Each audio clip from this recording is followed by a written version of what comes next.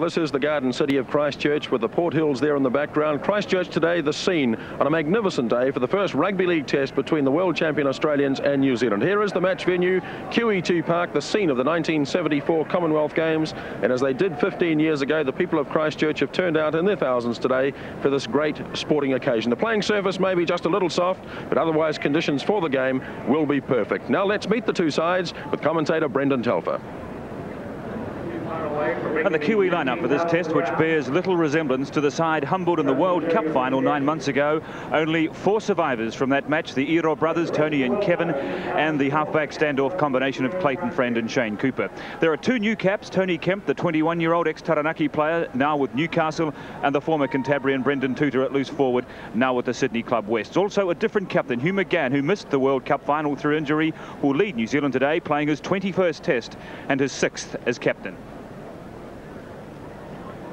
the Australian team with four newcomers to Test Match Rugby League today, so that means nearly a third of the side getting their first taste of Test Match Rugby League. The two newcomers among the backs are Michael Hancock, the fleet-footed Brisbane Bronco. He's on the left wing and still a teenager. The 24-year-old Penrith halfback Greg Alexander, the only non-Queenslander in the Australian backline, having his first Test match today as well. Another teenage newcomer is the Canberra second rower Bradley Clyde, less than two years out of school, and here he is in the Kangaroo Test team making his debut today. Also the Queensland hooker, the elusive Kerrod Walters, one of the big stars of this year's State of Origin series. And leading the Kangaroos, that man Wally Lewis, today playing in his 30th Test match.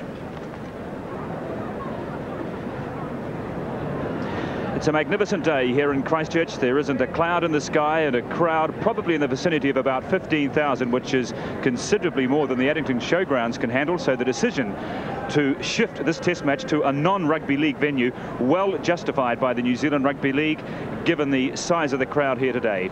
It's a magnificent sight, as QE2 Park always is. It's such a, a delight of colours here with the red chevron track and the rich green grass and the very colourful stand in contrast to so many of the grey, bland stadiums that uh, we seem to play so many of our major sporting events in New Zealand, but not QE2 Park. And the ground, as Grant Nisbet mentioned, is probably a little bit soft, although they played the curtain raiser here this afternoon, and here, the, here it is, always the most intense and dramatic venue at a test match ground just before kickoff. The front of the tunnel is the two players. Here are the New Zealanders looking very sombre, very committed. They know they have a big job ahead of them this afternoon to atone for that painful loss at Eden Park nine months ago. And the old QE2 roar, which has been dormant, I guess, since the Commonwealth Games 15 years ago, can be heard in full throat at the moment. The New Zealand team getting a marvellous reception.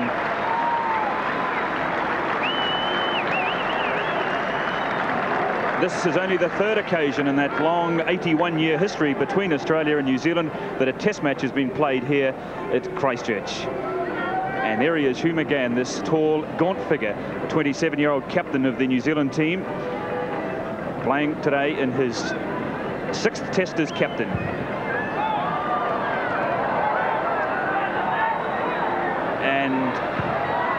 This uh, delightful ritual which seems to be part of so many uh, big rugby league matches these days. And each player you can see and each team comes out onto the field with the ball and they're kicked into the crowd. Now here come these Australians these big men. They've got a six kilogram advantage per man over the New Zealanders in the forward lineup. Three of their team well over 100 kilograms in size. Peter Moore, the manager of the team, leading them out, and there he is, Wally Lewis. Well, I guess he's used to that sort of reception being greeted with jeers and boos. I guess he feels he's back in Sydney at the moment, leading the Broncos or Queensland. A man who's been under siege since he arrived in New Zealand. He hasn't played any football yet, but he's the focal point of this Australian team wherever they go, on the field and off the field. Everybody wants to talk to Wally Lewis.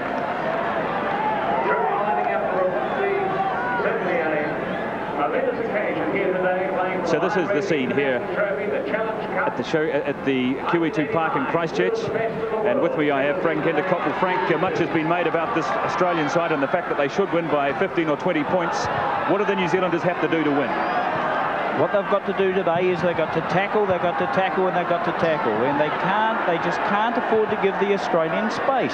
If you give this Australian team space, that you're going to be in trouble.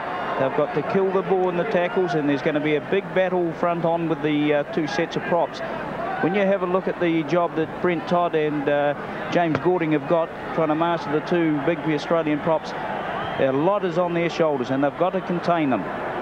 And in particular, I imagine they have to contain that man there, Wally Lewis, this uh, creative little genius in the Australian side. And here are all these lucky lads who are going to go home with a brand new rugby ball as a result of their visit to QE2 Park this afternoon. 26 rugby balls kicked into the crowd. And so there's 26 very pleased spectators, spectators already. But now it's time for the national anthems from the two countries.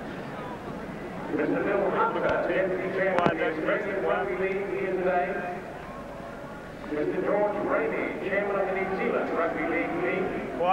And Rugby League. And from New Zealand.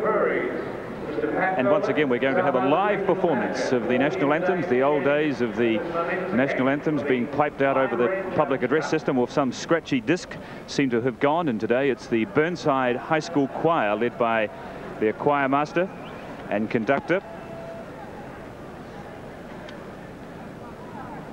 Mr. Peter Rowe. There he is to the left of the picture, who will conduct the Burnside High School Choir in the singing of the two national anthems.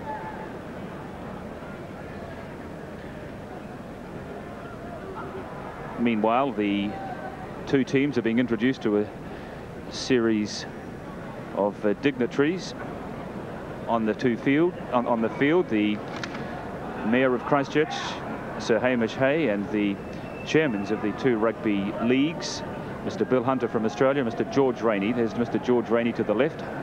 Sir Hamish Hay, the Mayor of Christchurch, and also there is Mr. George Hunter, the Deputy Chairman of the Australian Rugby League, along with the representative of the sponsorship company New Zealand Breweries.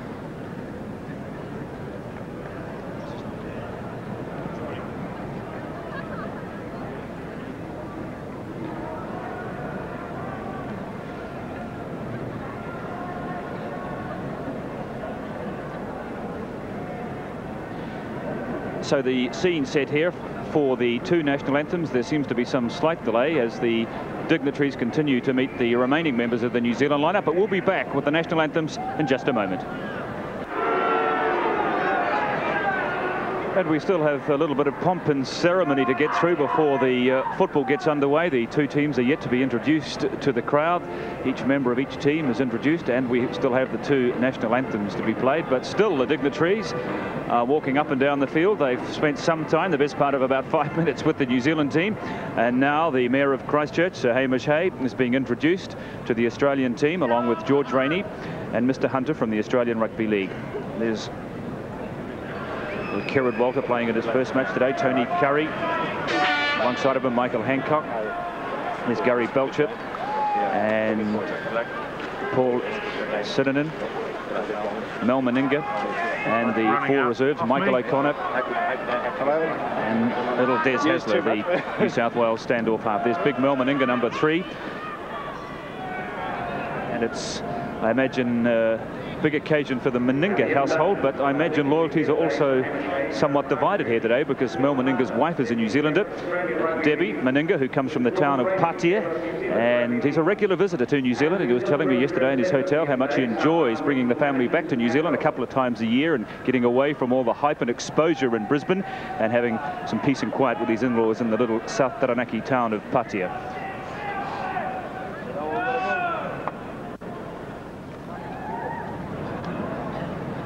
Big Australian forwards with uh, an average weight of 97 kilograms, which is six kilograms per man heavier than the New Zealand forward lineup. Two national anthems from the Burnside High School Choir.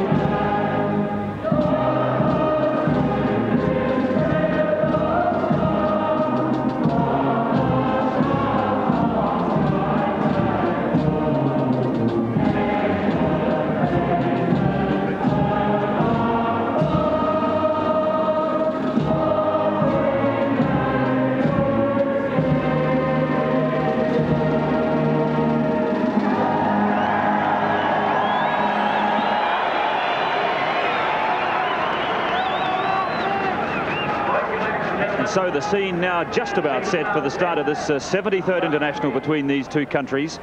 Uh, but now we have the players from the two teams introduced to this crowd of 15,000 people here and it's an unusual experience, I suppose, to have so many players in an international match all coming from the one competition. And this may not necessarily be state versus state rugby, but it certainly is still mate versus mate because 22 of these 26 players here this afternoon involved in this international, of course, play their rugby in the Sydney competition. So they certainly know each other well. Brent Todd, for example, the New Zealand prop forward, who has uh, three of his Canberra teammates in the Australian side. Daryl Williams, the New Zealand fullback, with a couple of his Manly clubmates in the Australian team. But now, the tossing of the coin.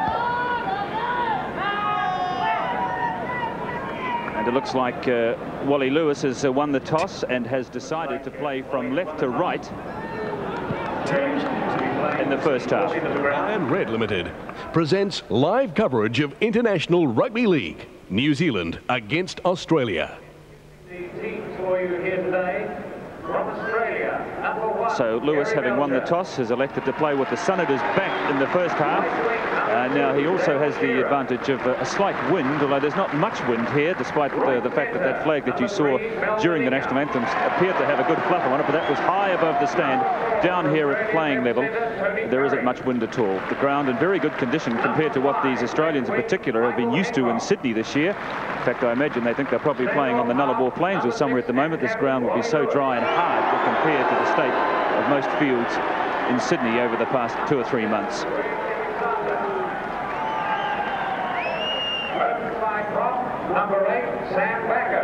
Well, we're about uh, three or four minutes already behind the schedule start of this match. It was due to get underway at 2.35. It's now nearly 2.45, in fact, as the introductions to the crowd continues. Second row, number 12, uh, sorry, open side, second row, Paul Sironen, number 11. When you look at the, the, difference in size of these two sides, the Australians are definitely a lot bigger, approximately uh, 10 kilos per man in the forwards. But uh, New Zealand today have got to rely on mobility and speed. Reserve back James Hasler. 15, reserve back Michael O'Connor. So we're nearly through the introductions, and the New Zealand players, hey, they are really pumped up. They really just can't wait to get into this match. Introducing the Lion Red New Zealand Kiwis, number one fullback, Daryl Williams. There's Daryl Williams, the Manly fullback, back in the New Zealand team today. Left wing, number two, Tony Iro. Right centre, number three, There he is, a man who's carrying a big burden on his shoulders this afternoon, one of the hottest properties in rugby league. That's Kevin Iro, number three, this big 16-stone centre. Number five, right wing, Mark Elia. Central half, number six, Shane Cooper. Scrum half today. Shane Cooper out to the right and uh, Clayton Friend his halfback inside of him wearing number seven, the 27-year-old Clayton Friend playing in his 19th test today. There's uh, big Brent Todd, 24-year-old, the heaviest of the New Zealand forwards at 97 kilograms and one of the few players who doesn't play in the Sydney competition. That's uh, Barry Harvey, the 24-year-old Wellington captain, hooker in the New Zealand team today.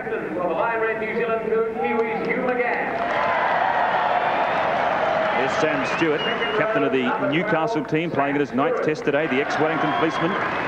Kiwis will be looking for a big game from him today as well.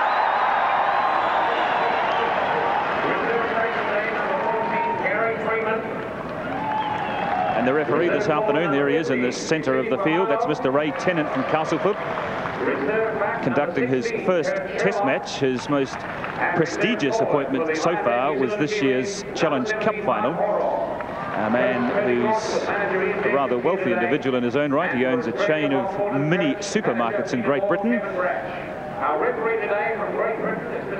Comes here with a very big reputation nonetheless.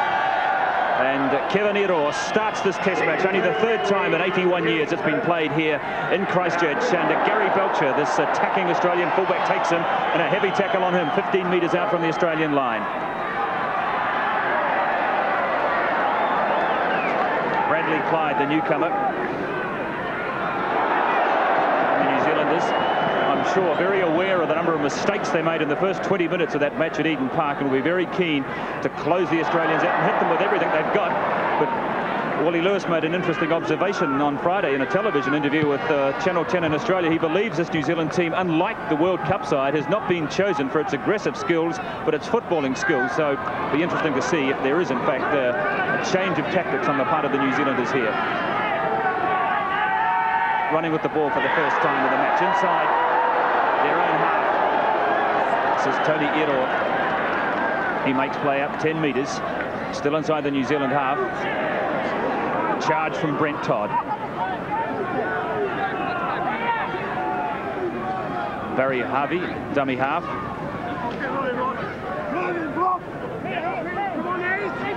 On halfway in the first two minutes of this match. Sam Stewart takes it up into the Australian half.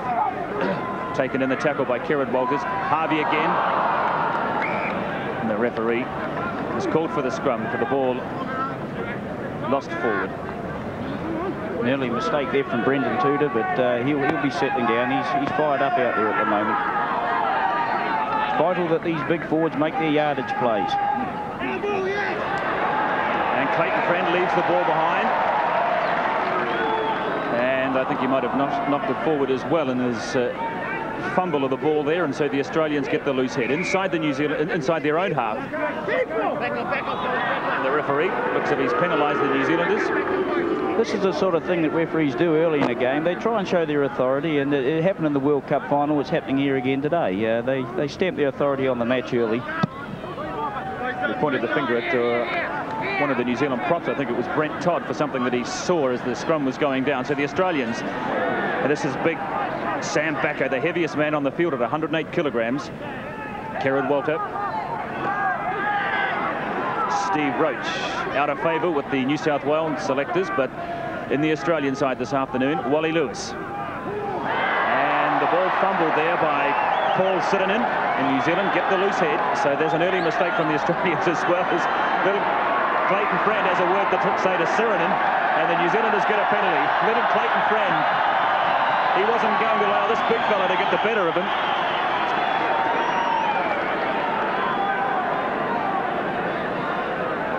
There he is. Well, I guess if you like your friends fractious and fiery, there's your man. Very impressed with the way the uh, Kiwis uh, are getting up in the defensive line. They're getting up and moving up quick on them. So from the free kick, 10 metres inside the Australian half. No score in the match, which is uh, four minutes old. James Goulding. There he is, number 10 playing only his second test match. And Shane Cooper looking for Tony Kemp but the gap was too wide and so he elected to take the tackle himself. And the New Zealanders making their way up to the Australian quarter line Barry Harvey back to Brendan Tuuta one of the two new caps in the New Zealand team. Sam Stewart and Stewart stepping through one tackle. And the little grubber click from Clayton Friend and the Australians in trouble. Hancock, the teenager in the Australian team, getting his first touch of the ball as a wall of black jerseys swallow him up a couple of metres from his own goal line.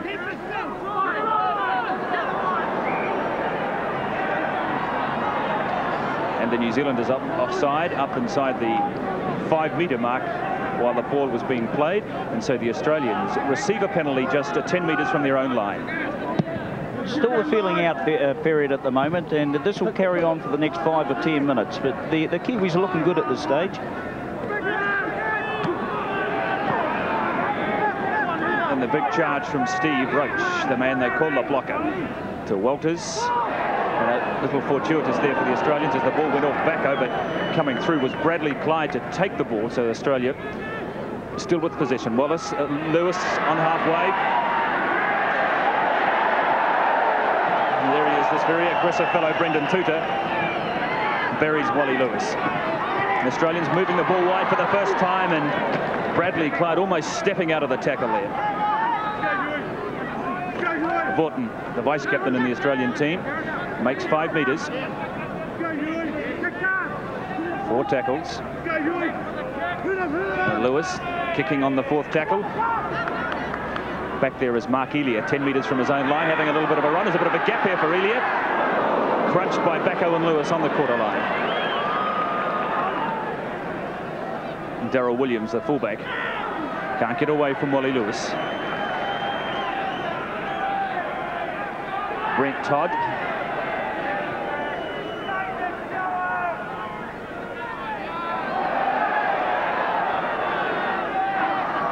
Friend Cooper.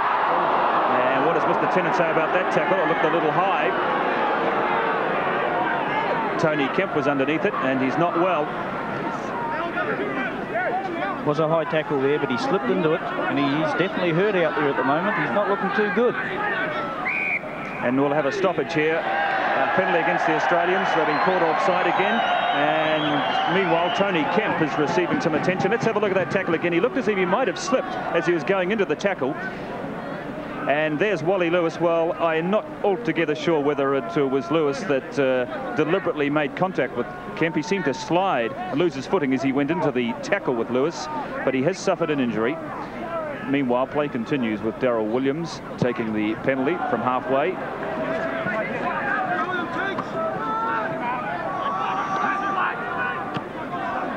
Tony Kemp has rejoined the, the match after some attention from the New Zealand physio Glenn Gallagher. Clayton Friend, no way past Paul Vautin. The runners just weren't there then. They should have been there. That was a planned move. Taken up by Goulding. 10 metres inside the Australian half. Still no score on the match. And here's Kevin Iro with his first real chance in the match. Iro gets away from one tackle. This big man, look at him, it takes one, two to get him down. It's Tony Currie that eventually made the tackle. Hugh McGahan kicking for the corner flag. Gary Belcher, it's an awkward one. He takes it a metre from the line. That's a good tackle from the New Zealand captain. He made the kick and he also made the tackle, putting pressure on the Australians on their own line. Hancock. He hesitated before he elected to pass. And again, the ball has gone loose and the Australians being subjected to some pressure here from the New Zealanders. Good stuff here from the Kiwis in the first 10 minutes. Yeah, great, great football, New Zealand. Brendan Tuuta's getting into these players and they don't like it at all. I can see now why they call him the baby-faced assassin. Wally Lewis will know what he looks like by the end of the match. There he is, number 13, the New Zealand loose forward. Now New Zealand with the ball. Kevin Iro just 10 metres out. Looking to go on his own. Friend playing the ball to Sam Stewart. That's the New Zealand try line. They're only a couple of metres away. Friend, the long pass to Kevin Iro again. Couldn't free the pass to Mark Elia. Clayton Friend, dummy half. Kevin Iro to Cooper. Back to Friend again. no way for the little fiery fella through those big Australian props. Todd to Kemp, moving the ball wide, but the pass was a poor one to Sam Stewart. Yeah, the nerves are starting to go now, and they're starting to fire the ball around. It's loosening up a bit. We're going to see one great match here today. Well, this is certainly a better start by the Kiwis in the first 10 minutes than we saw at Eden Park nine months ago. And the ball going loose and diving on it. One of those New Zealand forwards, but I think they might have been offside. Yeah, it looks as though Brendan Tuuta broke from the scrum too quick. So Australia received a penalty from Mr. Tennant inside their own quarter line.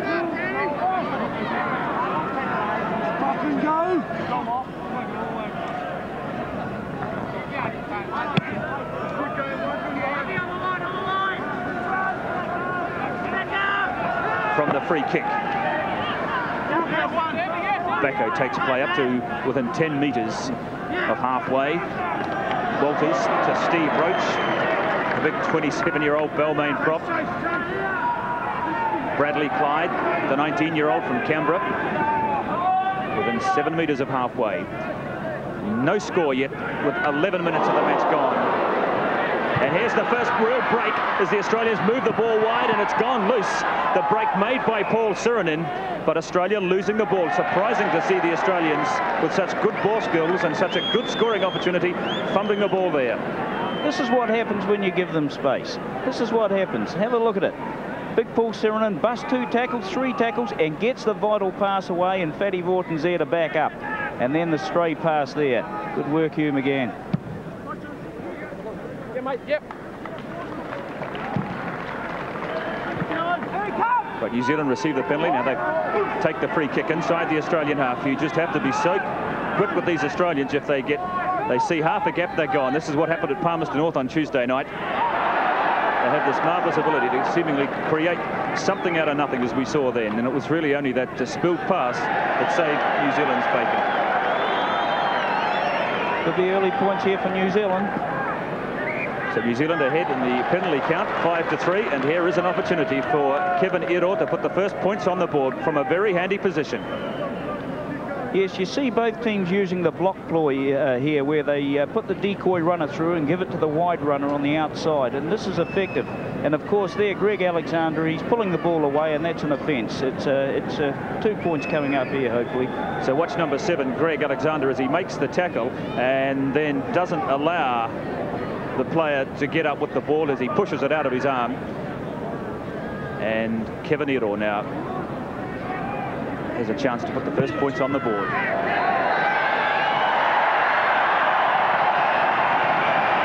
Just the start the Kiwis wanted. Kevin Iro swats the penalty and New Zealand ahead by two points to nil after 12 minutes of play in the first half.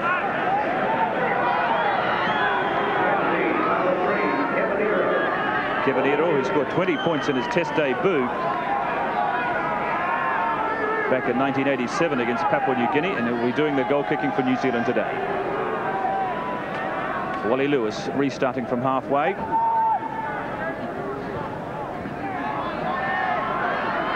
This is his brother Tony Iro playing on the right wing, but he's lost it forward. That's bad from Tony Iro because the Australians now are just 15 metres from the New Zealand line. This is their best opportunity so far. They're really the first time they've got inside the New Zealand quarter line. No way through there for, for Lewis. And that could well be a penalty. And it's on here on the side. She's on for one and all. Well, I think there might just have been a slightly over-vigorous uh, play there by the couple of the Kiwis on Wally Lewis. Yeah, Brendan and his teammates were quick to come to his defence. Brendan Tuuta, he's got his eyes on Wally Wally Lewis, and, and, and with, I know Brendan well, and with the, the bigger the names come the bigger the hits, and he's really giving uh, Wally Lewis a hard time out there today. Watch him, number 13. Just watch him, yeah. Here he comes. Now in comes Tuuta now.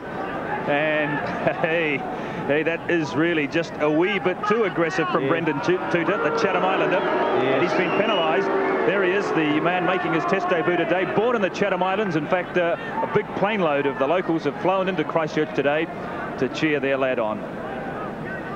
But he's just going to have to curb some of his aggression. Controlled aggression is the name of the game.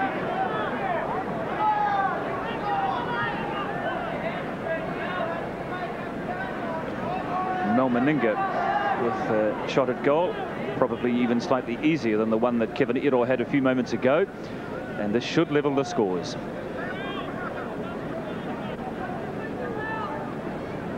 Meninga, who celebrated his 29th birthday yesterday, playing today in his 20th Test match.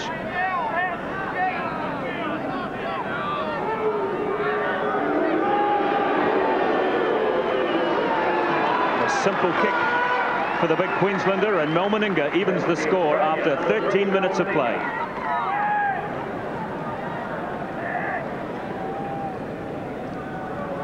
But for all that uh, indiscretion from Tuuta, uh, Frank Endacott, the Kiwis, I think, could be reasonably pleased with their first 15 minutes of this match. They can feel very pleased with the first uh, the first 13 minutes of this match. They're playing good football out there, and they're in with a big chance today.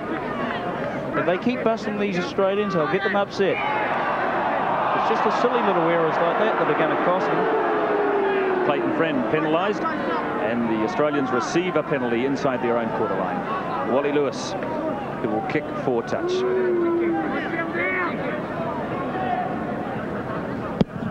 And the penalty count evened up at five apiece with that penalty going to the Australians. Walters with the free kick. To Steve Roach. Back to Walters. Backo running on at pace. Breaks out of two tackles. Big Sam Backo. 17 and a half stone of him. You've got to watch this fellow. Vautin.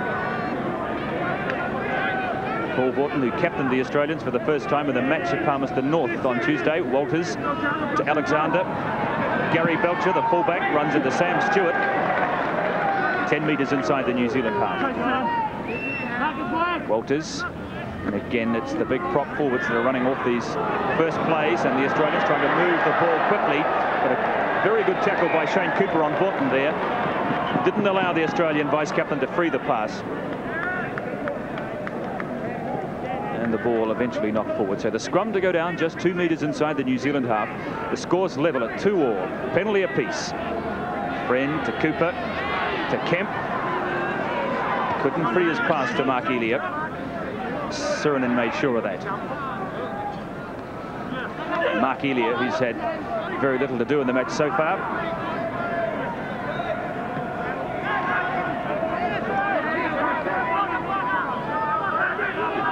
Taken on by Brent Todd. Back to Harvey. Shane Cooper. Hugh McGahan just trying to slip through that gap. Taken by his opposite number, Sironen, 10 metres inside the Australian half. And Hugh McGahan is lying on the ground. Doesn't look too good at the moment. As the Australians move the ball wide and a long, long wide pass from Wally Lewis, getting it as far as Hancock. Tries to get away, and he does get away from Sam Stewart.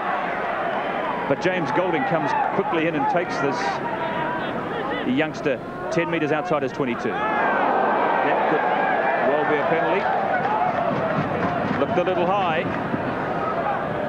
The referee has a word with the man who did it, Brent Todd. Explains that that's over the shoulder line. Let's have a look at it again. Tony Currie, and in goes Brent Todd. Too high, penalty. Fair penalty there. You've got to keep the tackles down. That was far too high. I'm very impressed with the New Zealand back three at the moment. They're tackling their, their hearts out. Now in comes Hancock, and he just about got away from the tackle of, of Sam Stewart. Just got him with the ankle tap. Alexander, Lewis, the Australians moving it fast as far as Vautin, buried by Hugh McGahan. 10 metres outside the New Zealand quarter. Roach. Bradley Clyde couldn't get his big frame through that little half gap that he spotted. Alexander again. Lewis, and what oh, Wally Lewis, he's going to have a little run on his own. Makes it to the quarter line. Now some real pressure coming from the Australians. Here goes Big Paul Sironen, but he really ran off the support there. They're only a matter of 10 or 12 metres from the New Zealand line. Roach, Steve Roach looking for some support. Alexander, there's a gap here. Alexander, and yes, is that the first try? Tony Currie gets it. Of inevitability about that as wave upon wave of Australian attack. And it was eventually Tony Currie there to finish the movement off. And Australia take the lead from by six points to two. This was the final play.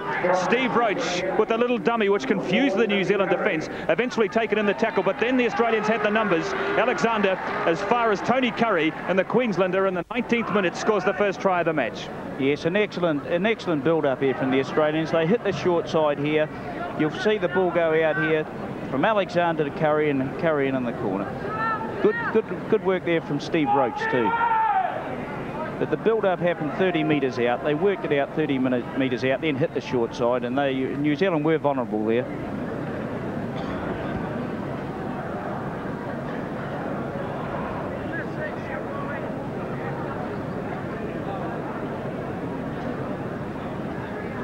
So Meninga with this very difficult conversion from just uh, a half a metre in from touch. This to make it 8-2.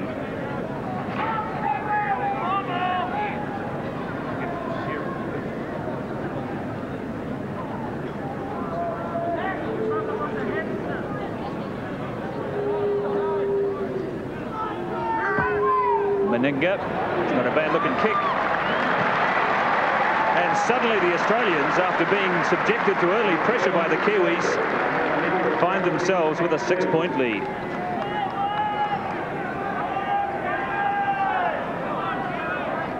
Okay, let's see how Howie Tamati felt about that try, looking at it from down there on the touchline. Howie. Well, 20 minutes gone, uh, Howie, and uh, what are your thoughts so far? Well, I thought they started well, but they're just going too high in their tackles. They've got to get around their legs. They're, they're moving up. They're going forward well in their uh, when they're driving the ball up, but they've got to go low. They can't keep flying around their head. They'll just fall off.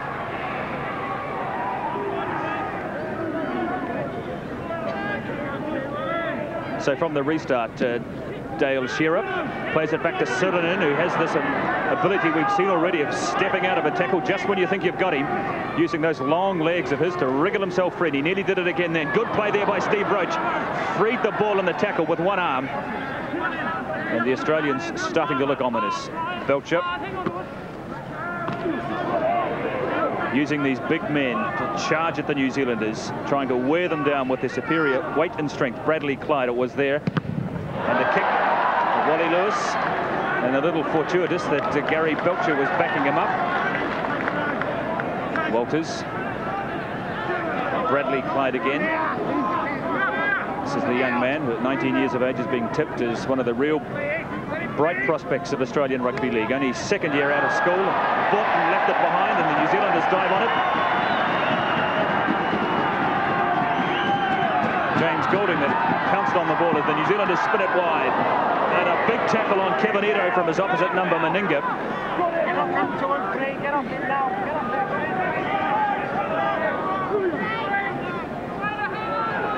Mal Meninga, who hasn't had much to play in this match so far, apart from his kicking. Back out to Walters.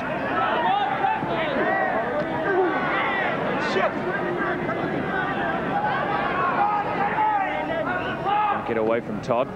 Sironen again, who's becoming a key man in this match, along with Clyde. Those two second rowers and those two big prop forwards from the Australians. Wally Lewis doubles round, and here's Clyde again. There's room for the big second rower. A superb tackle, however, by Hugh McGahan from behind.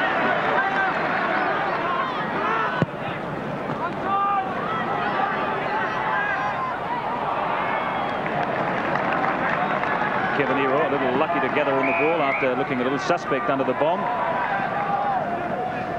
The referee has given a penalty to the New Zealanders. Very impressed with the referee up today. He, he's doing a good job out there. I see both both teams are actually cringing inside that five metre mark. He's giving them a glare, you know, a bit of eye contact, and he's not blowing the game up like a lot would. And he's I'm very impressed with him. Well, he does have a, a, reputation. I think they call him the ghost because of the lack of presence he likes to impose on a match. And that's what we're seeing from him this afternoon. It's James Goulding. No way through that wall of green jerseys. And I think he might have lost it as well. So the Australians win it. Steve Roach moves it as far as Greg Alexander. And New Zealand have suffered seven drop balls in the first 20 minutes of this match. That's unfortunate. The Australians, in turn, have lost the ball three times when they've had possession. Belcher tries to get away from Kemp. Sironen again. Sironen gets away from one tackler, makes it up to halfway and frees the pass. Good play from Sironen. He really is having a big game. Alexander to Roach. Roach just doesn't have the speed of uh, so giving the New Zealanders a little more time to make the tackles on the big Balmain prop. Lewis again. Into the arms of uh, Mark Elia on the quarter line. Wally Lewis makes the tackle. Some of these New Zealand forwards are showing signs of tiredness at the moment. Daryl Williams, who had much to do so far in the match, running from fullback just outside the New Zealand quarter line. The Australians are ahead by eight points to two. Try in the 18th minute by Tony Currie. Friend to Kevin Iro. Gets out of the tackle of Meninga's, gets away from Lewis as well. Alexander tries to get him around the neck, and Alexander, lucky that he wasn't penalised there, he deliberately went in around the neck, however. Tony Kemp. Kemp breaks out of one tackle. Where's the support for Kemp? Gets the pass as far as uh, Hugh McGahan inside the Australian half. Better stuff here from the Kiwis. And Daryl Williams trying to bounce the ball into touch and does do so as well. Good work there from both centres, both running good, hard and fast. Kevin Iro's just stamping his class on this game at the moment. So the scrum going down about five metres outside the Australian quarter line on this, the near side. Alexander. And a good tackle on by Clayton Friend. And New Zealand win possession as well. That's better stuff. To Cooper. To Sam Stewart. Back to Harvey. Todd. 15 metres from the try line. Harvey again to Friend. Cooper.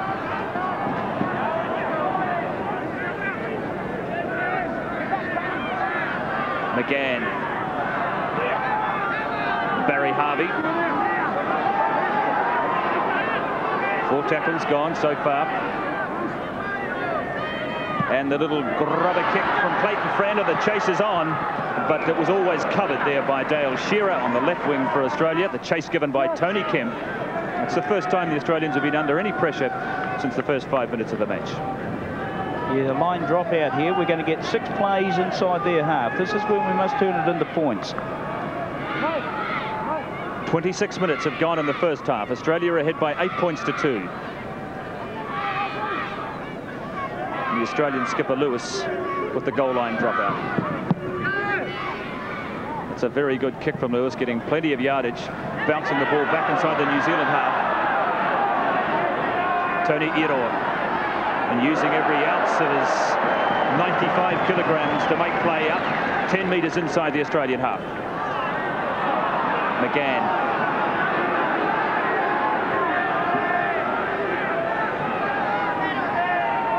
looking a little groggy and not looking too good. Hugh McGahan, who's had a couple of knocks so far in this match, and he looks as if he's suffered a knock to his rib cage. He's getting some attention there from the New Zealand physio as play continues.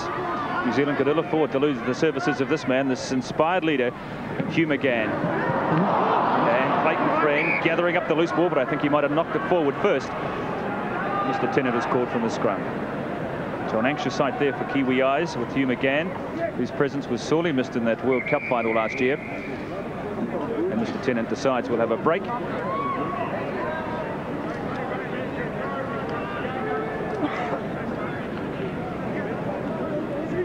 So at the moment, the penalty count is uh, six all. New Zealand having suffered eight drop balls to the Australians five. And looking at the tackle count, which makes interesting reading, it's been Hugh McGahan, the man that's getting the attention from Glenn Gallagher, that's leading the New Zealand tackle count with 11 so far. Sam Stewart's made 10. Brent Todd has made 10. And in the Australian camp, it's been Paul Vautin with the highest tackle count so far of 11 from the first 28 minutes of this match.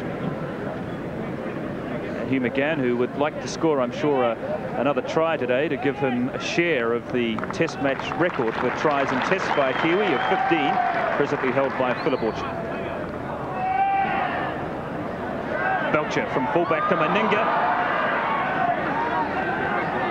And they have to close that gap quickly on the Brisbane Bronco. Well, he's now, in fact, playing for the Canberra Raiders, the Queenslander, Mal Meninga inside the New Zealand half. Steve Roach again. Still only one try in the match so far with just over 10 minutes of play remaining in the first half.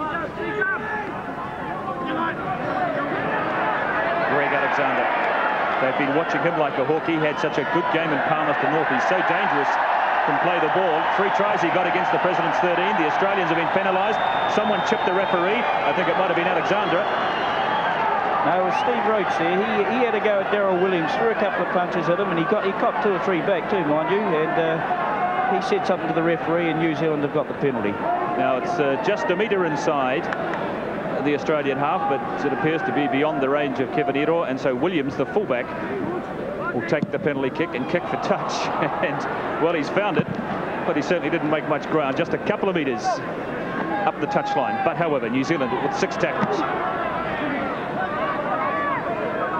Todd.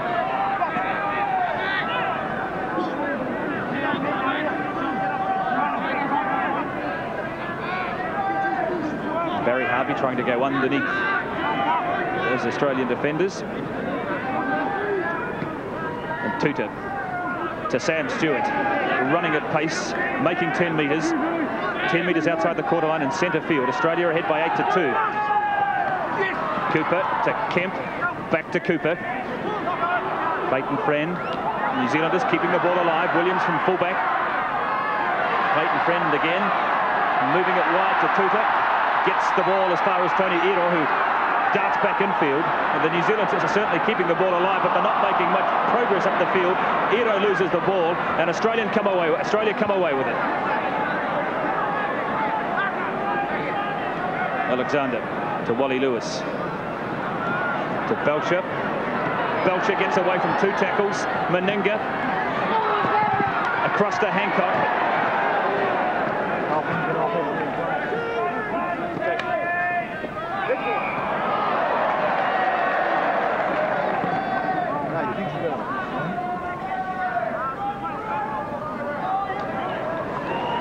Notice a lot of the running in this game is going across the paddock and not up. And the, the, the, you know these forwards have got to think about their yardage plays. You be, before you throw a wide ball, you must make your yardage. it started off forwards taking three, four plays up and then throwing a wider ball. And at the moment, it's just getting uh, a little bit loose.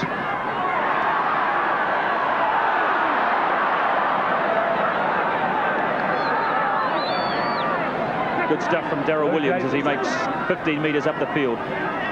Tuuta carries it on inside the Australian half. The New Zealanders looking for their first try of the match. It hasn't come so far.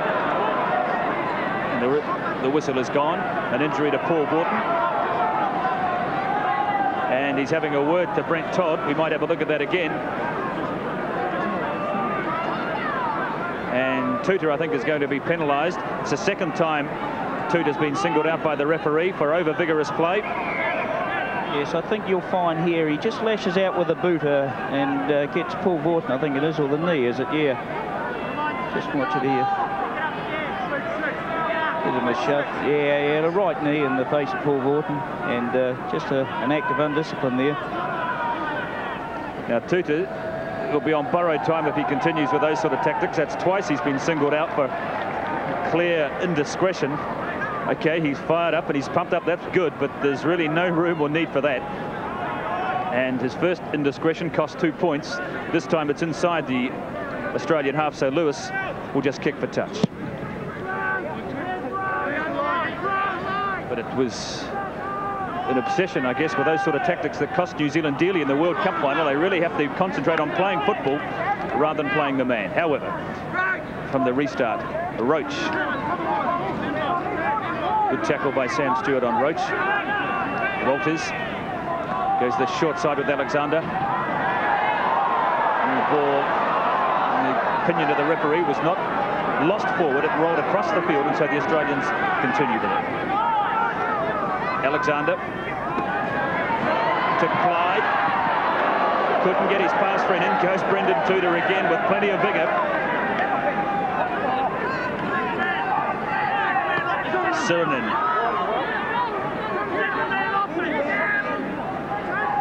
This is the fifth tackle coming up. Lewis decides he'll drop for goal. It makes something of a hash of it. Yes, actually clipped uh, by a New Zealand player on the way through, and that's a line dropout. It's unfortunate.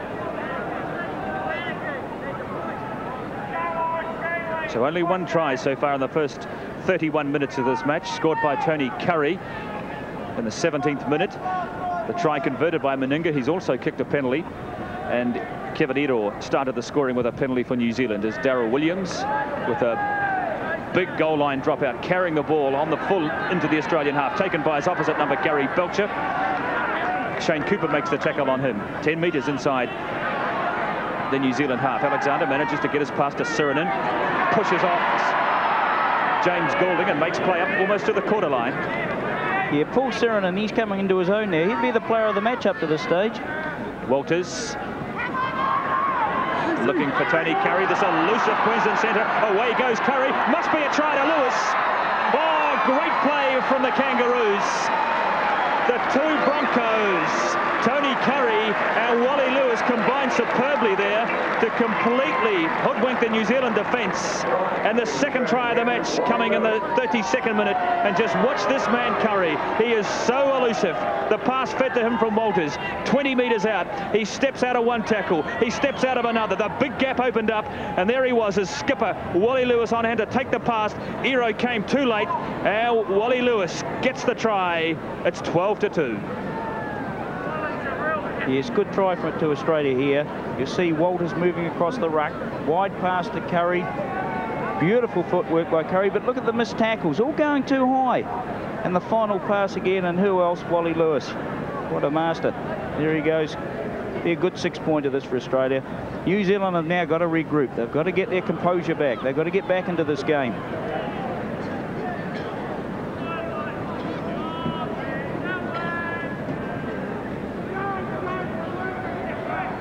Meninga from a handy position makes it 14 points to two and the Australians now with a 12 point lead with half time just a few minutes away we might have a look at that try again. Just look at the footwork of this uh, Brisbane Bronco. He really did jink and dive all around the show. But as Frank Endacott said, where were the New Zealand tackles? Where was the defence? It wasn't at home. And Lewis with a very simple run in once he received that pass, carried it all the work. But Wally Lewis, ever the magician there to finish it off.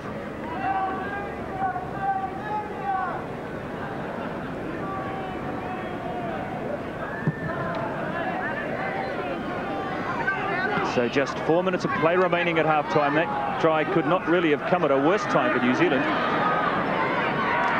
Giving six points away just before the break. Dale Shearer playing the ball, 12 metres from his own line the New Zealand task now must be, of course, to try and at least get a try back before half-time to stay within distance of the Australians. But at the moment, it's Hancock as he sprints down that left wing, and no one is at home. Daryl Williams, and away goes Kerrod Walters. It's two on one here. Oh, great stuff from the Australians. They are starting to run riot. And it's these Queenslanders that are doing it. Kerrod Walter finishes off the try, and it's 18 points to two and it began way back in the New Zealand half, inside their own quarter line, in fact. The initial break made there by Meninga, and Michael Hancock, just 19 years of age, he took off like Carl Lewis, and poor old Clayton Friend didn't get anywhere near him. The pass to Kerrod Walters. Uh, Walters just ambles in for the try, a suggestion there might have been a forward pass there. Let's have a look at this again, Frank. Yeah, very, very close this one. This is a marginal, but I've always said that marginal passes always go to the attacking side. Now, this was the pass that looked as if it might have been forward. Yeah, not a good angle to see it, but uh, I had me doubts there, but, you know, the thing is that, that the blind, the Kiwis on the blind side are standing and waiting for the Australians to come, and you can't do that. You've got to get up. You've got to knock them over. Both sides have got to move up, not just one.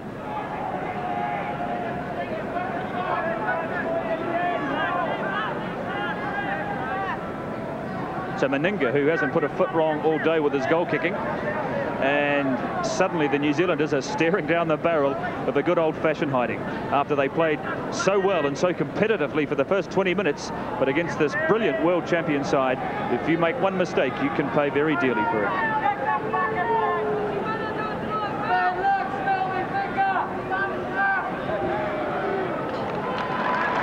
It's 20 points to two. Four out of four for Mal Meninga and the Australians in the box seat with half-time just a minute away. Well, Howie Tamati, what do you think now?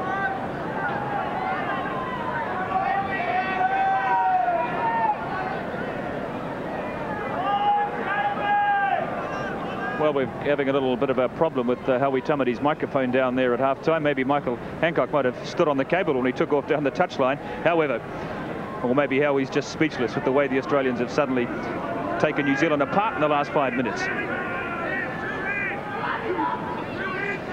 Half time now, just a minute away, as away come the Australians again. The New Zealanders really on the ropes at the moment at 20 points to two. And there will be no mercy from these Australians. Sironen again, making a break, but the ball lost forward. New Zealand have it. Tony Kemp going down, but inside his own half. Mark Elia coming across from the left wing, trying to link up there with the the right wing. Tony Iro plays it to Tony Iro at dummy half.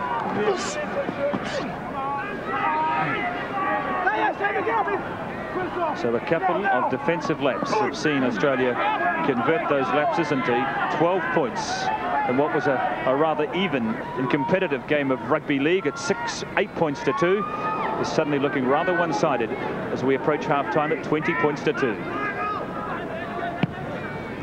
As Clayton Friend kicks it deep and Hancock, this young man who scored four tries in the State of Origin this year. And just look at the way, this magnificent sidestep that he's got. Brushing away the tackles, but taken by Tony Iro this time.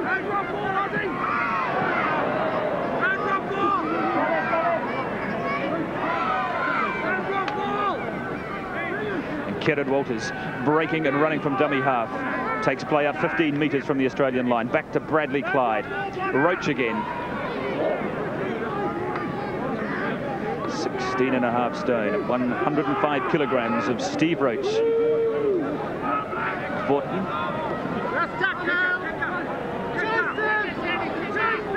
Now into injury time in the first half with the Australians ahead by 20 points to two. Three first half tries. And the tries coming in the first half to Currie, Lewis and Walters. As Daryl Williams running it from fullback. And so all the honours live with the Kangaroos at the end of the first 40 minutes of the first test here at QE2 Park in Christchurch. There it is, the sad news from a New Zealand point of view, but a great scoreline from the Australians, leading by 20 points to two. The tries coming from Currie in the 19th minute, Lewis in the 32nd, and Walters in the 35th. Mal Meninga with four out of four with his kicking, 20 points to two. New Zealand's only reply in the first half, a penalty to Kevin Iro. Of halfway. No score yet with 11 minutes of the match gone. And here's the first real break as the Australians move the ball wide and it's gone loose. The break made by Paul Sironen, but Australia losing the ball. Surprising to see the Australians with such good ball skills and such a good scoring opportunity fumbling the ball there. This is what happens when you give them space. This is what happens. Have a look at it. Big Paul Sironen busts two tackles, three tackles, and gets the vital pass away, and Fatty Vautin's there to back up. And then the stray pass there. Good work, Hume, again. Free kick inside the Australian half. You just have to be so quick with these Australians if they get, they see half a gap, they're gone. This is what happened at Palmerston North on Tuesday night. They have this marvellous ability to seemingly create something out of nothing, as we saw then. And it was really only that uh, spilled pass that saved New Zealand's bacon. There's a chance to put the first points on the board.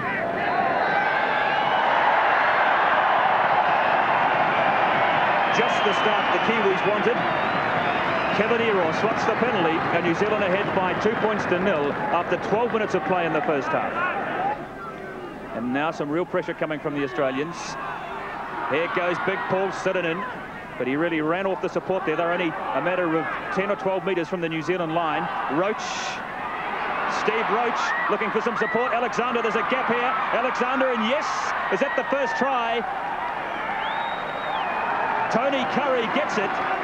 An air of inevitability about that as wave upon wave of Australian attack. And it was eventually Tony Currie there to finish the movement off. And Australia take the lead from... It's an excellent, an excellent build-up here from the Australians. They hit the short side here.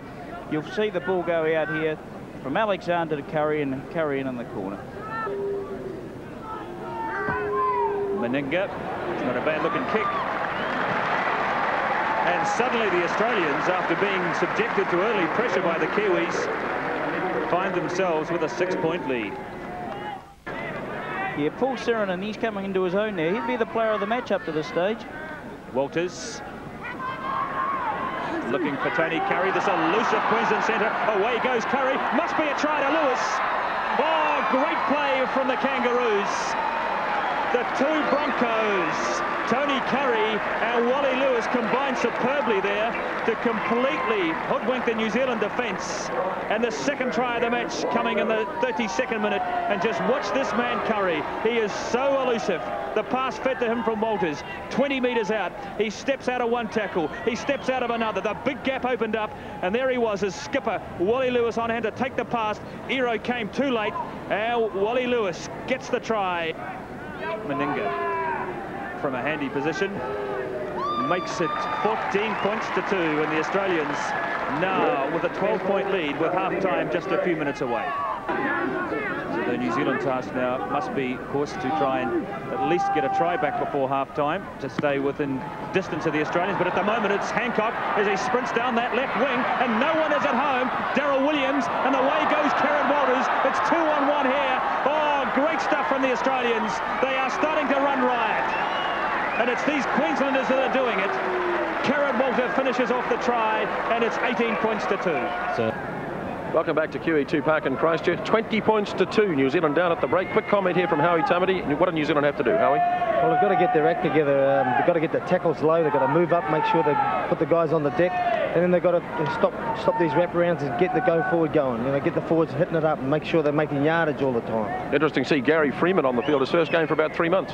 Yeah, it'd be good to see. Maybe you can turn turn the game around a little bit. Okay, let's go back to Brendan Telfer. So Wally Lewis restarts this first test match here at QE2 Park in Christchurch with his side, the world champions, and boy, did they play like that, particularly in the last 20 minutes of the first half. They were ahead by 20 points to two. A little fumble there from Barry Harvey. Another mistake coming from the Kiwis, and Australia with possession and immediately on attack.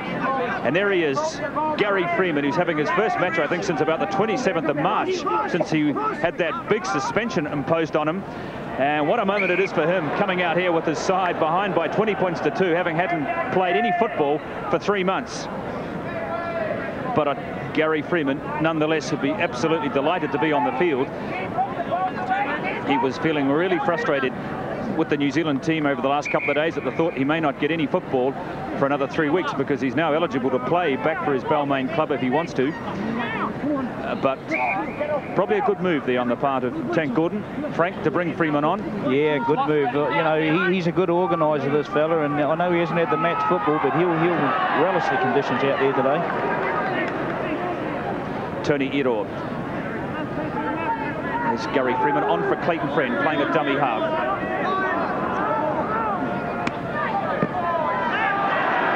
Sam Stewart. Well, I imagine these Kiwis got a good old-fashioned tongue lashing from Tank Gordon at half-time. I bet he read the right act to them, and they do look fired up despite the fact they're 18 points behind. Tony Kemp leaves it behind. There was a half gap there. He had Tony Iro with him.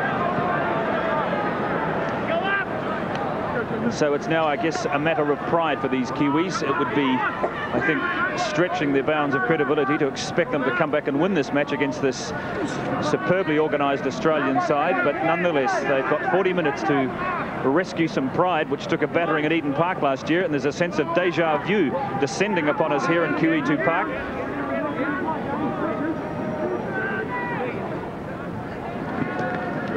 Australia with possession. And there are some of the key statistics from the first half. Interesting to see that New Zealand have made a lot more tackles in Australia by 106 to 78. And leading the New Zealand tackle count was uh, Todd with 15, McGahan made 16, Stewart 12 and 2 to 12. Well, the reason they've made more tackles is because they've made more mistakes. And, and this is why the Australians were ahead by so many.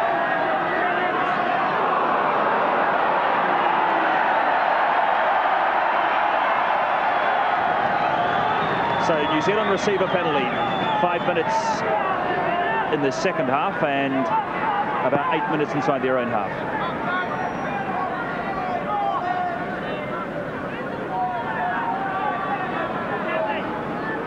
Penalties shared at seven apiece from the first 40 minutes.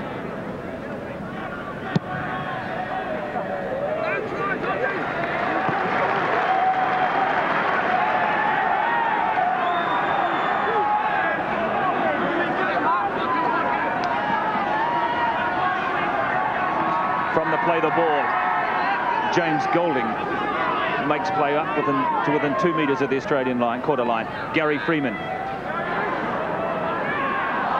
And the pass goes astray, but fortunately Brendan Tuuta was there before the Australians could snap it up. So New Zealand again with possession. Freeman, Gary Freeman sees a little gap.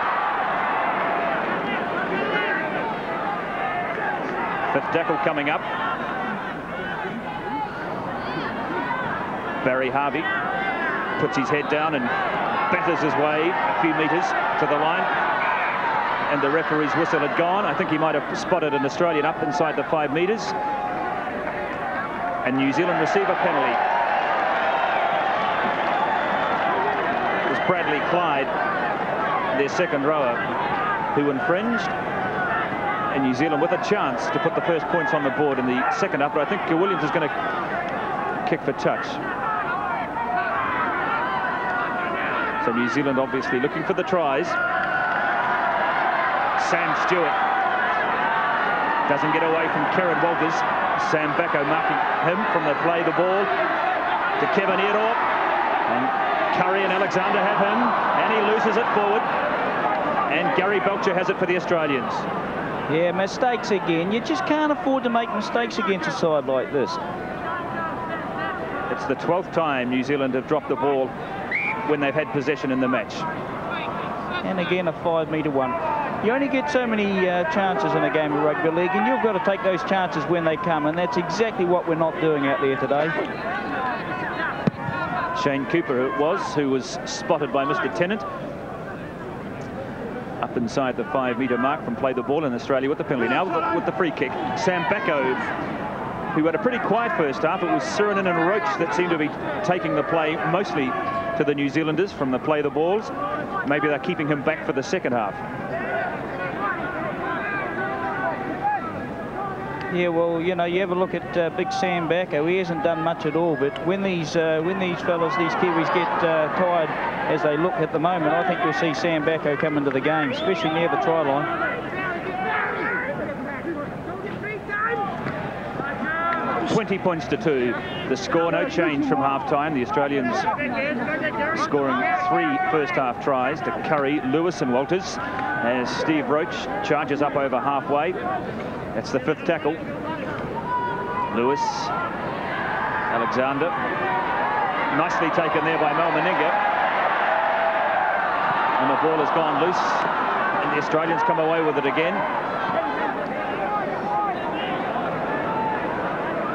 James Goulding not looking too good on, on it out here in the centre of the field either. He's taken a heavy knock. Bradley Clyde pushes off one tackle. Greg Alexander couldn't get his pass away. Good smothering tackle there from Gary Freeman. Australians looking dangerous again in the early minutes of the second half. Backo gets his pass away to Vautin. Here comes another try, I think. Vautin brought down right on the line. And a desperate moment there for New Zealand. Daryl Williams with a very good tackle on Vautin. Sironen. Again, there were big defensive gaps there among the New Zealanders as Vautin probed the line. And a suggestion of a little knock on there from Gary Belcher trying to take that wide pass. And New Zealanders can breathe again, but boy, these Australians, they're not letting up. James Goulding, he's out on his feet out there at the moment. He, he's, he's had a real heavy knock. He's not looking too good. He could be replaced. James Goulding, the uh, New Zealand tight head prop.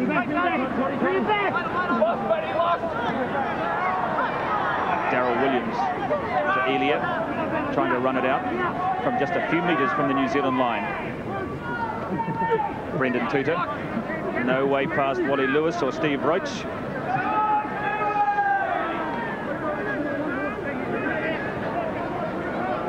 Centre field on the New Zealand quarter line, Sam Stewart.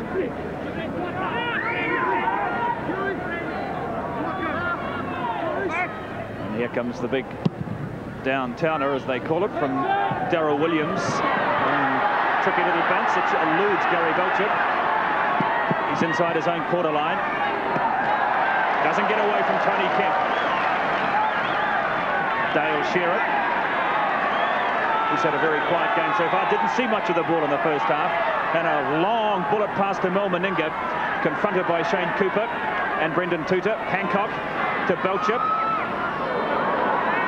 Shane Cooper has him on the 22.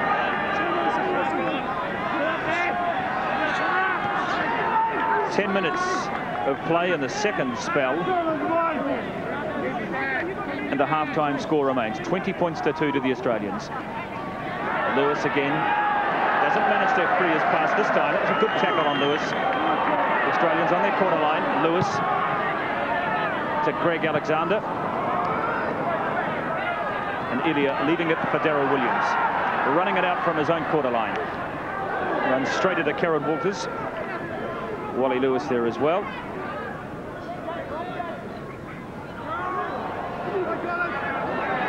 Zealand, who have had very few real scoring opportunities in this match at all, which is testimony to the very solid defence of these Australians. They just it's not just a matter of them being able to move the ball at pace. Their defensive work today has been quite exceptional. Freeman. And again, there doesn't seem to be a great sense of direction or purpose about a lot of these New Zealand plays, Frank. No, the support's just not there. They, they're going in, they're turning and popping a pass from the tackle, and the runners just aren't there. You've got to want to run against these guys. You've got to want to run. Dale Shearer finding the ground a little bit soft. Belcher, good support play here from Shearer. This is virtually the Queensland backline, of course, that's playing in this test match this afternoon. Only Greg Alexander at halfback is a non-Queenslander. And the other five outside of him, all members of that uh, highly successful Queensland side that won the State of Origin. Now this could be the first real opportunity. And away goes Mark Elia with the intercept. And he's got the pace on Currie.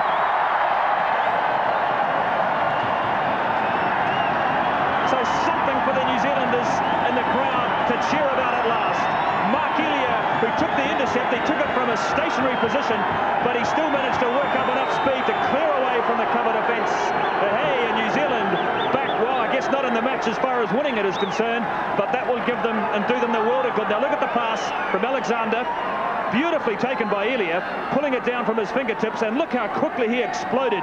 He hit top pace very quickly. Now Currie, some sensible play here from Tony Currie as he kept them wide. He wasn't going to let him go under the posts, but Elia gets the try. It's 20 to 6.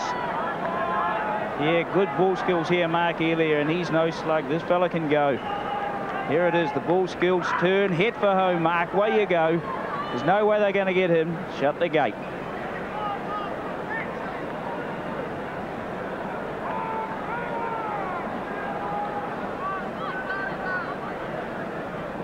So now Kevin Iro has a chance to add the extra two points.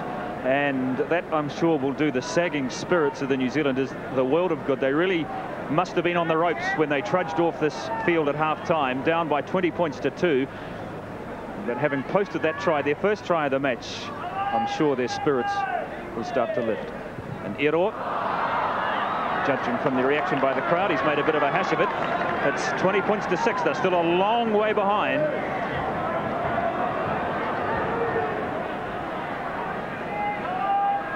A reminder that this coverage of the second half of the New Zealand-Australia International coming to you from QE2 Park in Christchurch is brought to you by Lion Red Limited.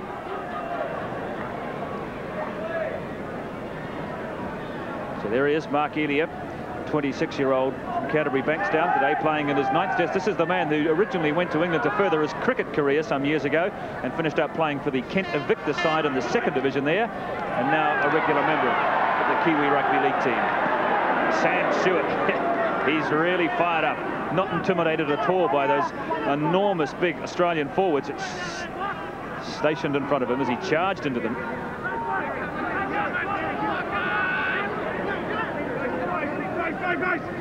So I guess any complacency that there might have been in the Australian camp after that uh, half-time scoreline will have been well and truly ridden by now as a result of that try.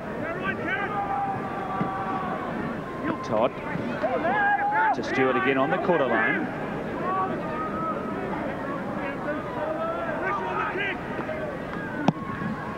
Daryl Williams kicking deep, but good positional play by Belcher. He was waiting there underneath it. Gets away from one tackle. Shearer, such marvellous understanding amongst these Australian backs because they, a lot of them play together for the Brisbane Broncos and having just had those three State of Origin matches as well. And it's clearly showing up in this match. Always seems to be an Australian there to keep the ball alive. Steve Roach again.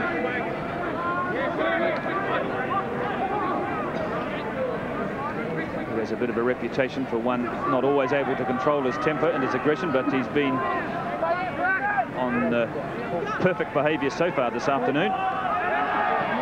Meninga haven't seen much of Mal Meninga in this match so far. He's done everything that's been required of him in the goal-kicking department with four out of four. And the word from Wally Lewis to Dale Shearer was to kick. Wasn't a bad bomb either.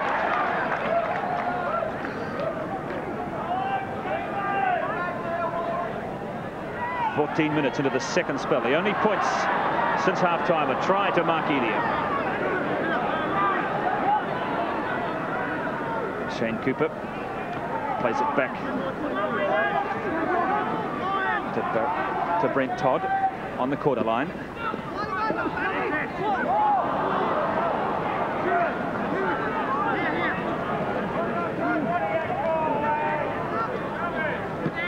Vautin.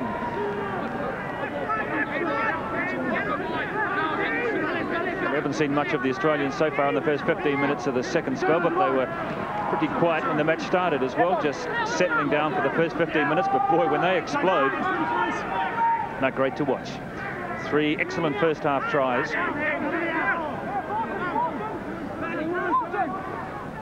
Waters again, a little scissors movement with Wally Lewis. Kerrod Walters, Walters just a metre short when he ran into a brick wall. That was a superb tackle there by Mark Elia because Walters really was at full steam. Sironen trying to find his way through that last line of defence. Referee has spotted an infringement, has he? No, he's turnover.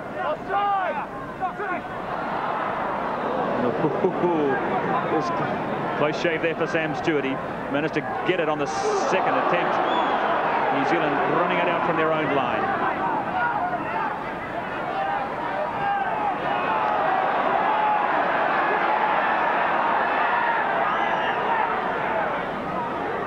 Stewart again. James Goulding.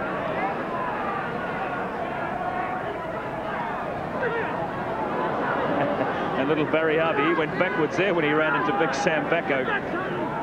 Yes, I'd like to see the Kiwis throw the ball wider here because there are there are gaps on the flank. There's a big Australian condensed defence in the middle, but there are big gaps on the flank. I'd like to see the ball thrown wider, quicker. A very good kick there from Daryl Williams. It wasn't made any easier for Shearer by the fact that the Australians are looking into the setting sun in the second half. And the sun is still shining brilliantly here in Christchurch today on this cloudless day in front of a crowd of 15 or 16,000 people, probably the biggest crowd to watch a game of rugby league in the city for 20 or 30 years. Australians with it. A long pass and Kemp looking for the intercept. Now there's a little bit of a hole in the New Zealand defence as Belcher makes a run from the quarter line. To Currie at dummy half to Vautin. Tony Currie, the man that played a hand in the first two tries the Australians scored. He scored one himself, then set up Wally Lewis with the second try. Dale Shearer. Wally Lewis to Steve Roach as he breaks through the tackle of McGahan. He's gone down again, just out of picture. There he is number 11, Hugh McGahan, who's taken a lot of knocks today as Grant Gallagher, the New Zealand physio, comes on the field. Play continues. Alexander with a little kick, gets there for Alexander. He's got Walters with him, but Daryl Williams took the intercept. Greg Alexander perhaps just a little too smart for his own good there. He had a man outside of him who was unopposed, and now it's New Zealand coming away with it. Sam Stewart. Well, the Australians certainly threw a try away there. Freeman. Cooper moving it wide, the Iro brothers. Tony, he had Kevin outside of him. Tries to play it himself, but Currie quickly finishes that idea off.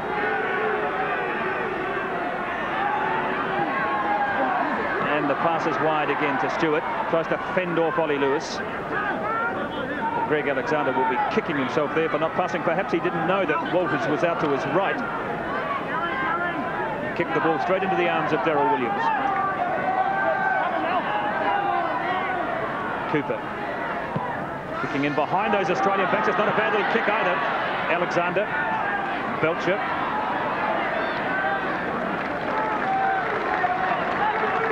This is what the Kiwis have got to do here, Brendan. They've got to try little chip kicks in, in, in the wider ball. They, they're not going to break this Australian defence just by ploughing up the middle now. They've got to throw caution to the wind. Australia ahead by 20 points to six midway through the second spell. As away come the Australians again. Walters, he's got Shearer with him. And they're moving it wide up to the 22. That's Greg Alexander taken on the New Zealand quarter line. A good tackle there by Hugh McGahan, who despite the number of knocks that he's had, is not going off. Clyde.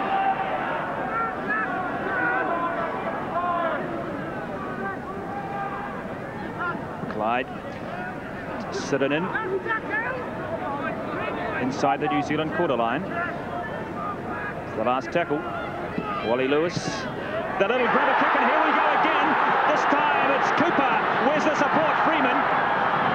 But the Australian cover defence really regrouped very quickly there. Shane Cooper perhaps just lacking a yard of pace because he was in the clear.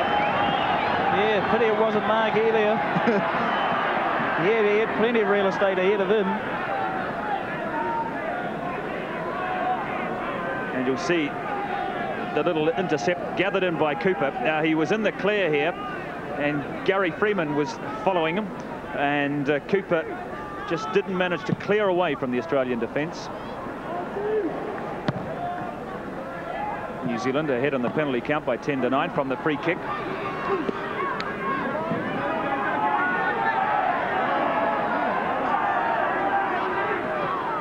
Goulding again. James Goulding back in the New Zealand team after a four-year absence, playing in only his second test today. Played his first against France in 1985.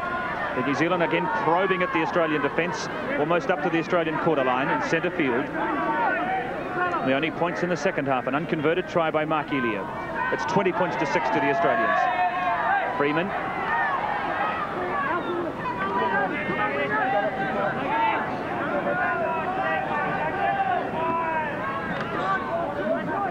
Todd. It's really difficult to break this Australian defence. They yield nothing. Yeah, they've got, to, they've got to put a bomb up here, right into the sun. Freeman. No, see, just a lack of organisation there. And Turnover, last tackle. They Seems the inexplicable uh, this level of football inside your opponent's quarter that you would give possession away with a turnover. But they have, and away come the Australians. Just what Gary Freeman was trying to do out there, we do not know, but the Australians now with possession.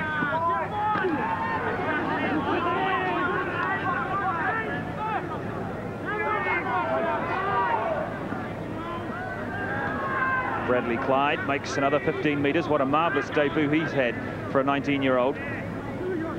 Seems assured of a long and permanent place in the Australian team for many years to come. Alexander, Lewis, Meninga. Meninga, he pushes Kemp off, but not Sam Stewart or James Goulding. Walkers again. Wally Lewis. Gary Belcher. Tony Iro, who decides to let the ball bounce. The Australians, who can't move until he's moved at least five metres. Why Iro never went in and took that ball I, on the full, I do not know. But however,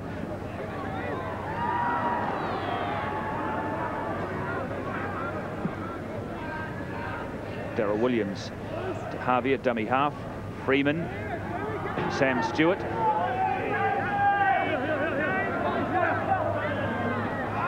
Twenty-four minutes of play in the second half. Australia ahead by 20 points to six. They haven't added to their half-time score. Freeman, Cooper, again chipping the ball over the back, waiting underneath. It was Hancock. He took it well. As Tony Kemp arrived there as well, he didn't flinch at all. An interference, I think the referee has judged on uh, Cooper by on, on uh, Hancock. So the Australians receive a penalty.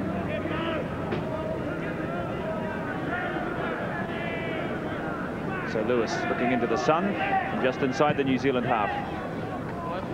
Takes play up almost to the New Zealand quarter line. From there, the free kick. Kerrod Walters to Steve Roach. Alexander. This is a move they practiced time and time again at uh, practice yesterday at St Andrews College here in Christchurch. That double scissors movement as Vautin again. Yeah, this is where the Australians get dangerous here. They'll just take three or four plays up, and then they'll have a uh, move, plan move on. Lewis couldn't get his pass to Kerrod Walters, and diving on the ball was Barry Harvey. Cooper missing out Elia. Cooper, Freeman,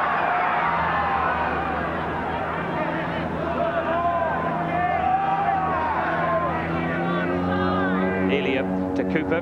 Well, the New Zealanders still trying to run the ball one. There's a bit of room here for the Iros. Away goes Kevin Iro. He's got his brother with him on the outside. But, oh, again, the defensive mistake.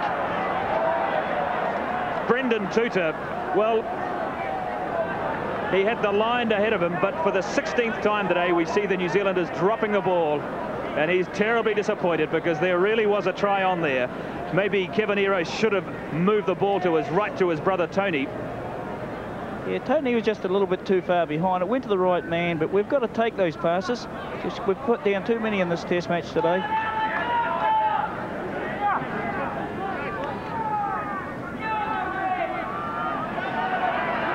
Clyde.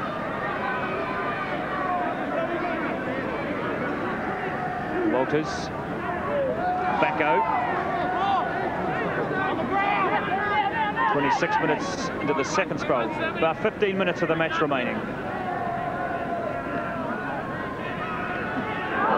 now that looked a little suspect on Roach, but the referee, Mr. Tennant, says no. Play can continue.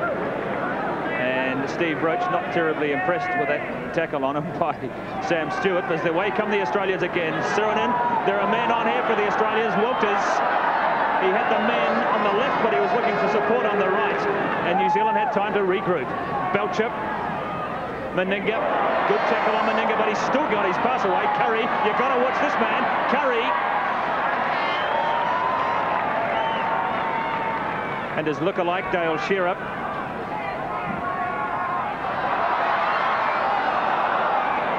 And the Australians look as if they just uh, lost their concentration. A lapse there as the ball went loose. No one seemed to want it. So James Gordon said, thank you, I'll have it. And New Zealand come away with it with a new six tackle count. Elia. I think must, a lot of credit must go to the New Zealand defence in the second half to keep this Australian scoreless. Yes, the New Zealanders can take uh, some, I guess, kudos from the second spell in as much that they kept the Australians scoreless and have added a try themselves.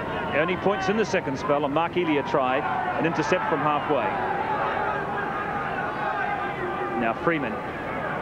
Freeman having a little probe, but taken in the tackle there by Tony Currie.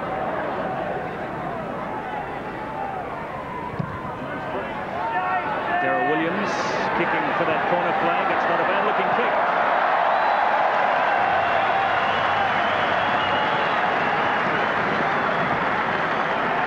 the Manly fullback who really has been one of the Kiwis today who can be very pleased with his performance. Had a super game from fullback. His long, deep probing kicks which have enabled the New Zealanders to exert some pressure on the Australians in a scrum to take place inside the Australian quarter line. And Alexander, and he's lost it. But I think he's penalised uh, Brendan Tuuta for being offside, coming around too quickly, and so Wally Lewis has a chance to take some of that pressure off the Australians as he takes play back towards halfway. Yes, again, you know, the, the mistakes, they just keep tallying up, tallying up, and it just keeps the Australians ahead in the scoreboard.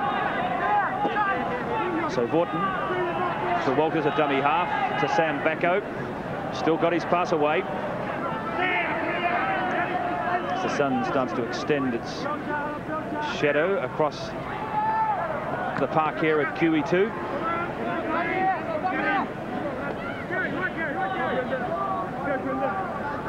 Lewis to Belcher, the dummy to Lewis, and Belcher continues up towards the quarter line.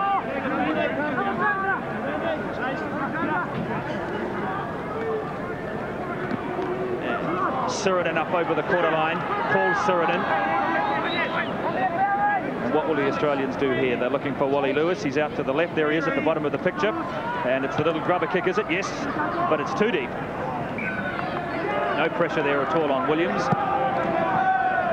New Zealand will restart from the 22. Freeman. The last 10 minutes of this first test, the first of three to be played over the next few weeks here in New Zealand. The second test at Rotorua next Sunday and the third at Mount Smart. All three test matches this year being played at non-rugby league venues. This one has been a marvellous success with a very big crowd here. Certainly the number of people here today, far more than the Addington Showgrounds could accommodate.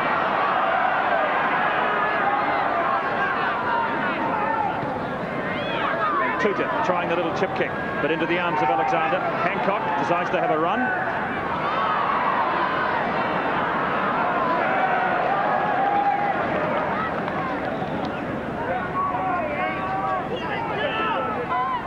Walters.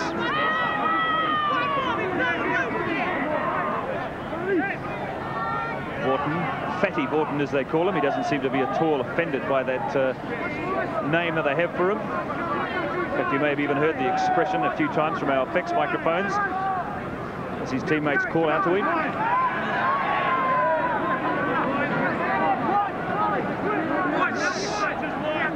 Steve Roach, made a successful comeback to the Australian side today. He hadn't had much of a season as away goes Sironen and Paul Sironen scoring a try. And that try has been coming all afternoon time and time again. He's broken tackles and the Australians post their first try of the second spell. It's 24 to 6 how many times today have we seen this from Sironen the pass from Wally Lewis standing up in the tackle. He had an instinctive knowledge of exactly where Sironen was. Broke out of one, two, three very weak tackles, including that last attempt from Daryl Williams, 24 to 6. Yeah, well, just have a look at this inside pass, reverse pass here from, from Lewis. This is just straight power from Sironen. This is the power of the man. He deserves this try. He's looked for this try the whole match. And, and to me, he is the player of the match, Paul Sironen. Well-deserved try.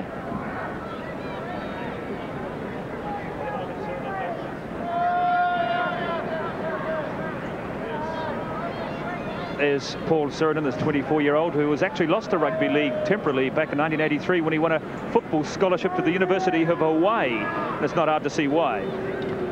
Immense strength of the man.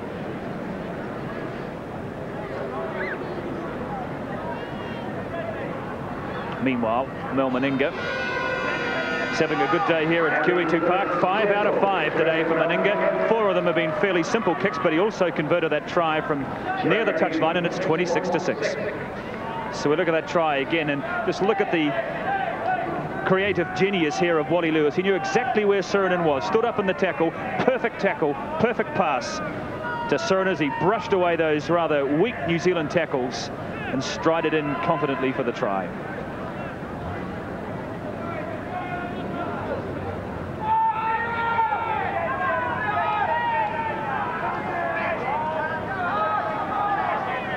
Notice a few of the fans starting to leave QE2 Park in Christchurch as they sense the fate of this match is well and truly sealed.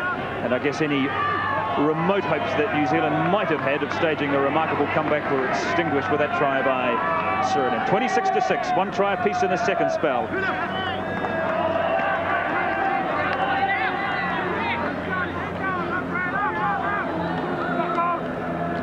The Australians may well be making a replacement that looks like uh, Michael O'Connor, who's stripping down on the Australian bench. Meanwhile, back on the field of play, Stephen Roach to Sironen. And again, Sironen makes the break. He's in the clear. He's only got Daryl Williams. He's looking for some support. Finds it in the form of Bort, but the pass was misdirected. Hancock. And the pace of this match has really slowed down. Come on.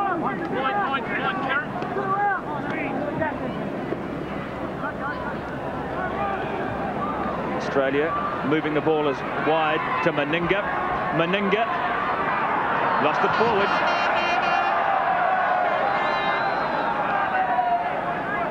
I get the impression, Frank, that both of these two teams would rather like to hear the sound of the final hooter at the moment. There's some pretty tired men out there, particularly in the New Zealand camp. Some very tired men. I, I, I understand Paul Sironen's a policeman at home. I wish he had stayed there.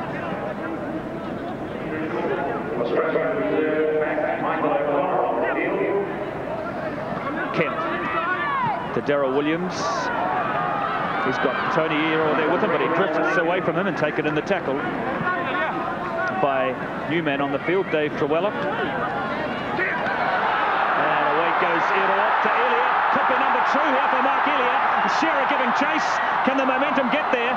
He's just a metre short, and it needed the speed of Dale Shearer, who really flew after Elia. And the referee, I think, has blown his whistle as he penalised the Australians. Nope. Williams. The Kiwis would love another try here. Gary Freeman. No way through there, Mr. Freeman, as he runs straight into Sam Backo. And I think Backo has been penalised for not allowing Freeman to play the ball. So the New Zealanders receive a penalty, but they take the tap. Todd. So Mark Elia within an ace of scoring his second runaway try. Tony Kemp can't get past Lewis.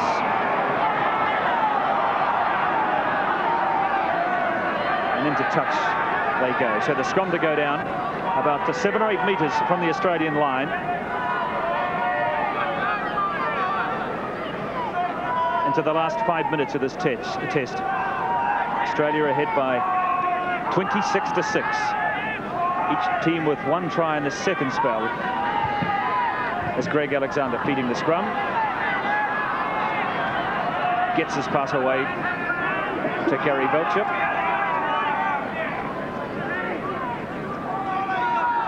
Lewis.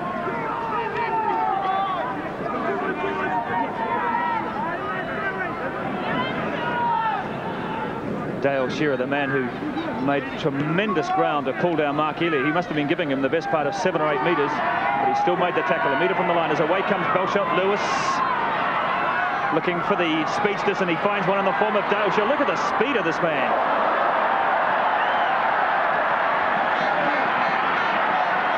And Michael O'Connor, there he is, uh, who's on the field, who fumbled the ball.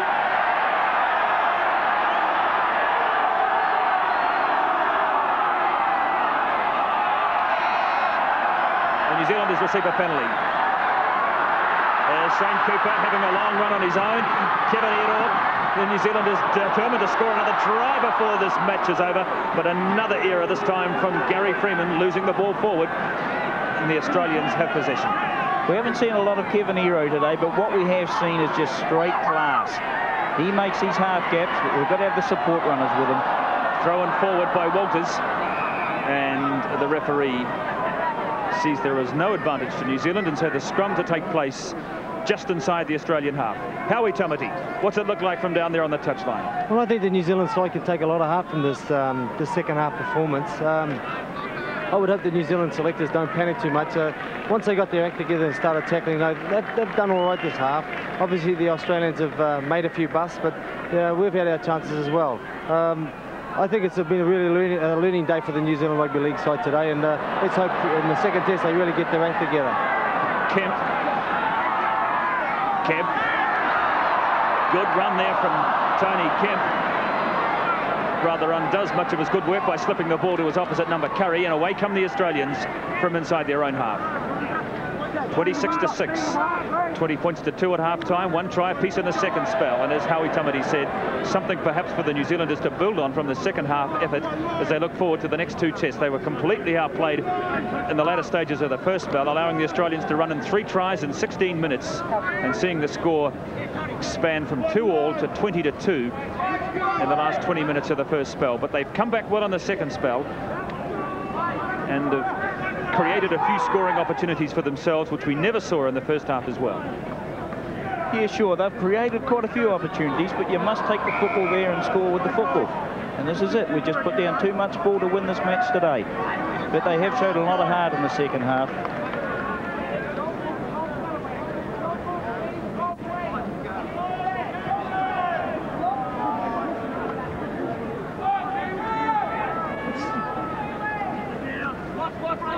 Looks like uh, another replacement has been made in the Australian forward line. I think Maguire's on for Roach.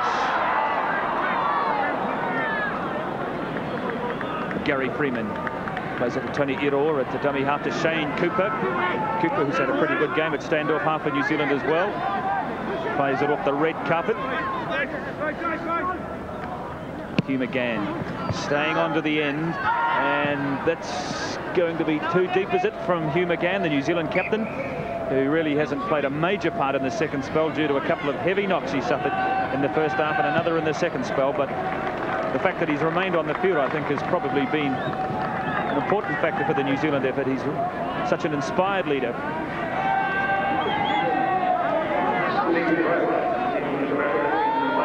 Kerrod Walters at dummy half. Takes the play from Maguire. Bradley Clyde takes it up to 10 metres outside the quarter line. Into the last couple of minutes of this match. And the Australians, who have certainly wrapped up this first test and will take a 1-0 lead as they go into the second test in Rotorua in a week's time. Greg Alexander, I think a little surprised to receive that pass. There's, there's the hooter for the full-time sound here at the QE2 Park. And so the Kangaroos, the defending world champions, and boy, do they play like world champions as well. Too good for the Kiwis today, winning by 26 points to 6. The win was really constructed in the last 15 minutes of the first half when they ran in three tries from Cowie, Currie, Lewis and Walters. It was 20 points to 2 at half-time. An improved performance by the New Zealanders in the second spell. A try by Elia. Sironen replied for the Australians, and in the end it was 26 to 6 to the Australians. Coverage of today's Rugby League International between New Zealand and Australia has been brought to you in association with Lion Red Limited.